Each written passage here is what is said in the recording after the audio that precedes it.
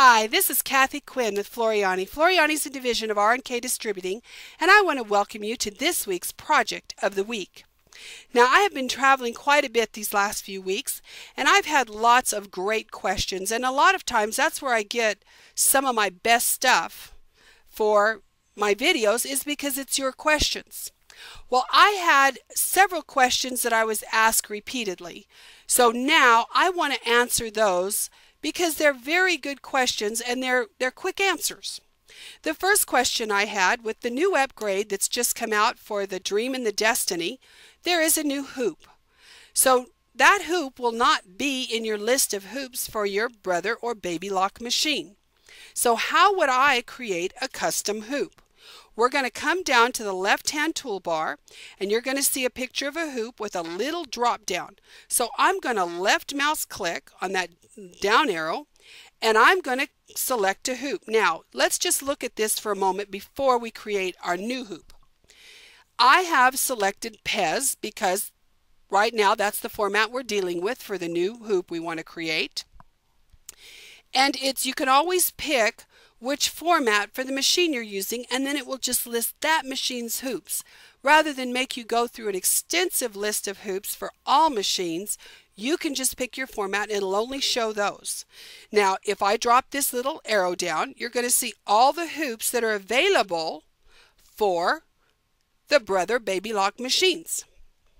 Now, if I click, uh, put a check mark in the word multi-needle, it will kind of weed out on the Brother Baby Locks, it will weed out all the hoops that don't pertain to your multi-needle. So it kind of helps you uh, bring the list where it's manageable for what you're looking for. Now I'm going to deselect multi-needle and I am going to go to the word new. We are going to create a custom hoop.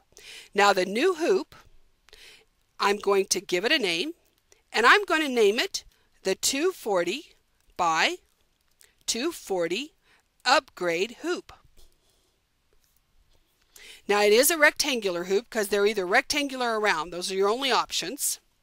Now it's asking me what the sewing field is. Now this is something I really appreciate about Brother Baby Lock is they give you the size of the sewing field, not the size of the hoop because a hoop can be, in this instance, nine and a half. But your sewing field is a little smaller than that because your the way your foot has to go around. So we're going to say 240 by 240. Okay. Now it's created this custom hoop.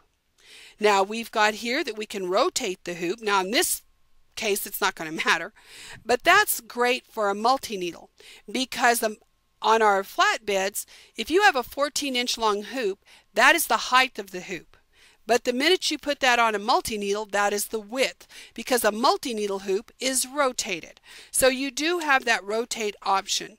So I'm now going to say, okay, and there is my custom hoop.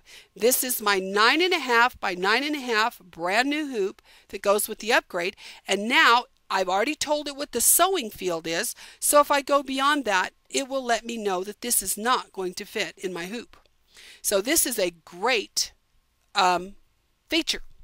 Now we could bring in a design, just anything. Let's just grab a design real quick. Let's go to our free monthly designs because I always like to pick from there. Let's go to our free monthly and let's just pick, um, what are we in? We're in August. August 2016 and let's look at what we've got in our designs. Okay, we've got our these little appliques. So we're going to drag this applique in. And now I can go ahead and say fit to hoop and make it as large as possible within that hoop knowing it has fit exactly within that sewing field. So this is how we create a custom hoop. Now the next major question I got was how do I export artwork for my cutter. If I want to create a cutting file, how would I do that? Well, let's just bring in a file and we'll turn it into an applique so it's actually stitches. Let's bring in this uh, butterfly. That's fine. Okay, so we've got this butterfly. We would go ahead and decide what size we wanted on this butterfly. He's good like he is. And then I'm going to turn this butterfly artwork, I'm going to turn it into an applique because a lot of times what we want to do is we want to take an applique and have our digital cutter cut all our fabric for us. So we need to have an applique. Now know that when you work with a digital cutter, you must work with artwork. You are not working with designs. It has to be converted to artwork for your cutter to cut it. So I'm going to say File, Export Artwork. Now this is a stitch file. But our software, if you're telling it you want to export it as artwork, it understands that you want to create an artwork file for a digital cutter. So I'm going to name this butterfly, if I can spell butterfly. So I can save it to an SVG for your Cameo, Silhouette, Sizzix, or I could make it an FCM for the Brother Scan and Cut. So you can pick what you need. Let's go with SVG for this. I'm going to save it to my desktop. So I've saved that artwork file, that digital file that I can now put on a jump drive and put in my cutter and have my cutter cut my designs out. Now I'm going to go ahead and get a new piece of paper and open so you can see that. So I'm going to go to my butterfly onto my desktop. Well, I could have sworn I put it on my desktop. Double check here. I've got desktop selected. Oh, I'm sorry. I went to open. See, I did exactly what I told you not to do. You've got to go to File, Import Artwork. You open a design, you import artwork. So we're going to import artwork. There is my butterfly.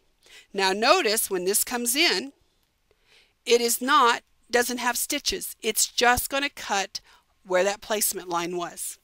So now what I'm going to do is I'm going to take Appli-Kay Wonder, iron it onto the back of my fabric that I wish to cut out, and send it, put it on a jump drive, plug it into my cutter, and it will cut my applique fabric. So you can send cutting files by exporting artwork, you can look at them by importing artwork. So this is how we get a, a applique file to turn into a cut file. We just export it as artwork.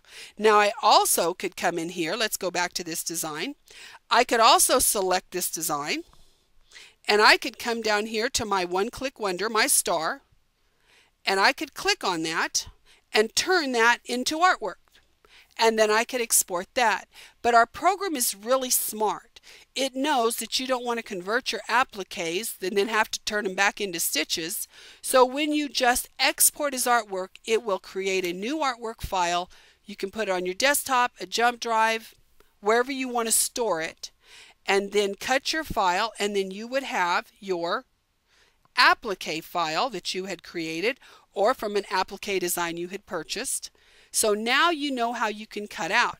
Now, of course, I don't waste anything. Now, of course, I could just iron a little piece of Appli-Kay Wonder the size of this butterfly and put it on my mat, put this on my mat and cut it. Or I could cut a whole sheet of butterflies. Now in that case, I would come in here and say, I want to repeat. Now I know I can get two across and I can probably get, uh, I'm going to push it and say four down. And I'm going to apply that now I'm going to give myself just a hair in between my horizontal distance because they're touching. Just there we go. That's enough. Now I'm going to say okay. Now I'm going to say file export artwork and I would call this multiple butterflies. And save so now I could go there and file, import artwork. Oops. I didn't get import artwork, excuse me.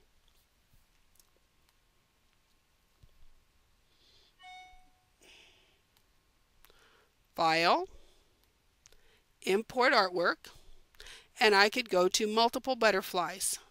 And there we go. Now I could cut out eight butterflies at one time. So it's very easy to, to work with, Very simple as long as you remember you're dealing with artwork, not a design. Now the next major question I had is, how do I update my software? Well, the first thing you do is you go to help and you tell it to check for updates. And normally what we would do is before I do that, I'd go help about. I want to know what the number is of my update of my that I'm running right now. Then I would come in here and I would say help, check for updates. So now I know the version number I have and I can see what's available right now is version 3020. So I would go ahead and I would click to download this version and I would save that file. Now this would start downloading and I started this before I started and you can see right here it is. So here I've got it. I, I was doing it before so that we wouldn't have to wait two or three minutes because my internet is slow around here. So what I would do now is I can double left mouse click on this. Oh, I'm sorry, that's the canceled one. Double left mouse click and I can say run. And when I say run, and I'm going to cancel this because I have a later version than's on here. So that's all you're going to do. You can also come in here, and I do this a lot. I'm going to make my, let me um, minimize the screen a little bit. There we go. And let me go ahead and minimize my software. I could actually come in here and I could go to my downloads and I can drag this out onto my desktop. And I want to show you what it looks like. We're going to close these tabs. This is what it looks like. So then you can either double mouse, left mouse click on that. And again, once I do that, it's going to bring up the ability to update my software. Perhaps. There it is. And I, again, I would click the word run. Now you can also put this, let's say you have the program on two computers, or you have one computer that's not connected to the internet. You can put this on a jump drive, plug it into your other computer, double left mouse click on it, and just follow the directions. You'll say run, it'll come up, say do you want to install? Yes, and it'll walk you through until you go to finish. So it's very easy to update your software on a manual update. So that's tonight's questions that I had because um, I try not to make the videos too long. So next week I've got a few more questions that we will go ahead and answer. We'll look at the You Design It feature and I look forward to talking to you next week. Have a good night. Bye-bye.